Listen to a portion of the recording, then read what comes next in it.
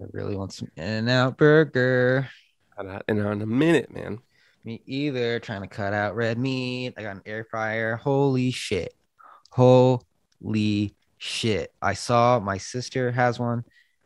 She put a raw chicken cutlet, raw chicken, Oh raw chicken, raw, uncooked poultry. She like breaded it up, put it in the air fryer. 15 goddamn minutes later, pulls it out.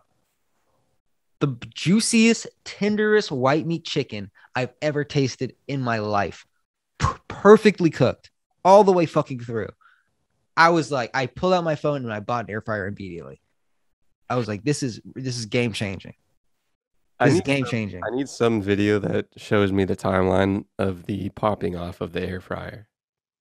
Because it was going off on 25th Street, but I had I, there had to be someone. There was probably air fryers for decades before, at least a decade before.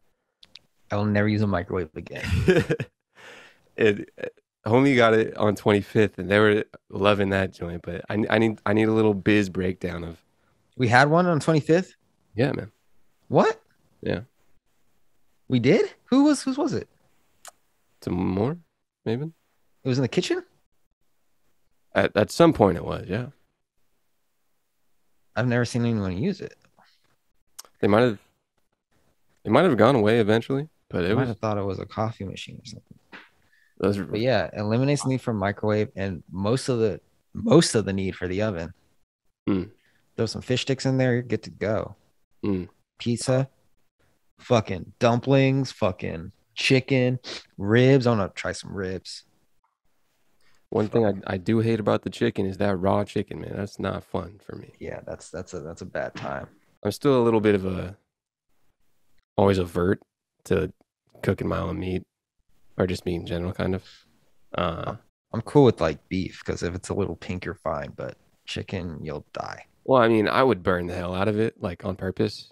I'm I'm I'm not an, I'm, I I like burning things. Gross. You like your steak well done? No, I never tried a well done steak. That's like literally Like if if I trash. if I uh I'd, I'd like bake or put some I I've put some uh meat in it like I just bake it and then I'd so it's cooked but then I would put it back in the pan and chop it up and burn the hell out of that so it's nice and crispy. Whoever made that is a genius. I think it's just hot air or something. That's what I'm saying is because it had a freaking marketing boom in 2016, 2017, I mean 2018. And Mhm. everybody's like, "Yo, air fryers!" Like they were like, "Oh, Chick Fil A chicken for like two seconds." It's crazy. Air fryer TikTok goes crazy.